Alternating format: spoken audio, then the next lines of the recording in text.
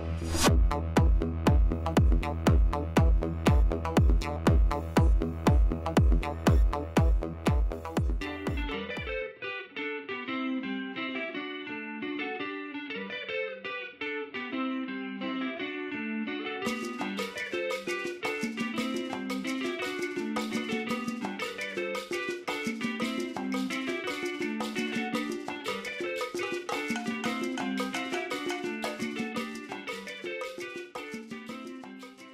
Tigers are very endangered, and there's a few reasons for that. The first one mainly is habitat loss.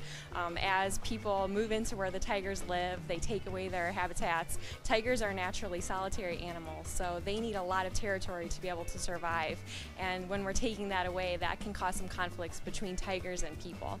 Also, tigers are just magnificent animals and they're still being poached for some of their parts and also being sold into the pet trade. So, those are all some more issues that are affecting tigers in their natural environment.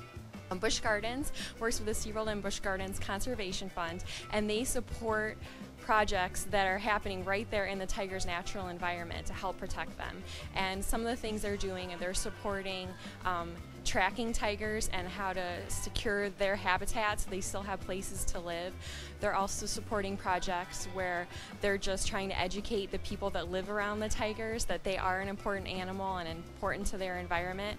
And also they're trying to help educate people and try to control the poaching that's going on. So we don't want um, tigers as pets. They don't make good pets. They are a wild animal. And we respect them here at Busch Gardens. So we do have protected contact. We want to make sure that we're very safe. So we work with our animals through a protective barrier.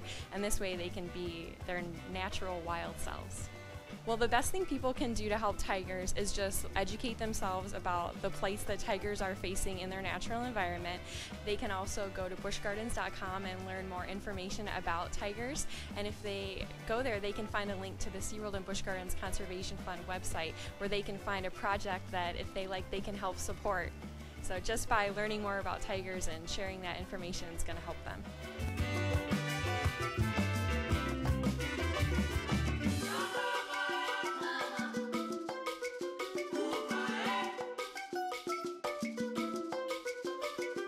Besides our many wonderful shows, restaurants, and rides we have here at the park, we also have an amazing group of animals that we work with as well. Um, that's right here behind me. There are some of our western lowland gorillas, and they happen to be my favorite here at the park.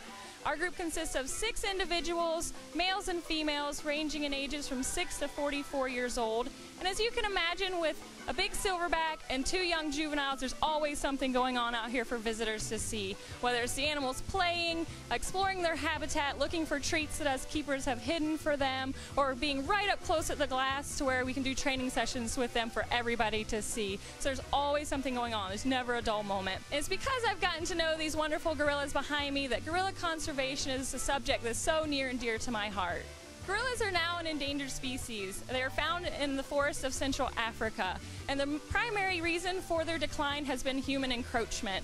Uh, the biggest threat to them is habitat loss. As you can imagine, as the human population grows, they're needing more land, more food, more timber, so they encroach upon the natural habitat of the gorillas. So while that means that the human population is expanding, the area for the gorillas is shrinking, and therefore the population of gorillas is shrinking as well.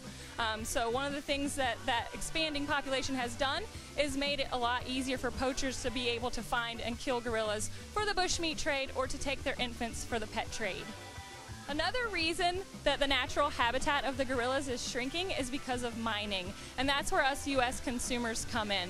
There's actually a mineral called coltan that is mined for the production of cell phones and other electronic devices.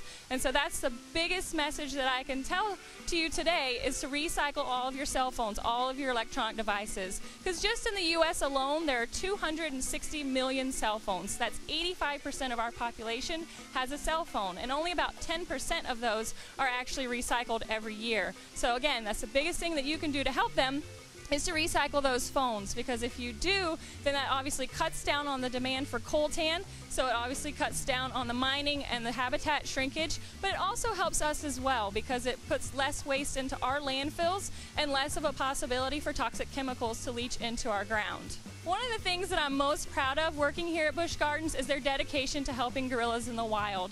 Uh, through their partnership with the SeaWorld and Busch Gardens Conservation Fund. They help support projects all over the world that help many different animals. They help work with the local people to teach them how valuable their animals are, how valuable the land is, and also to help them sustainably manage their natural resources. So I encourage you, check out buschgardens.com. It'll give you all kinds of information about our parks, our animals, and the Conservation Fund.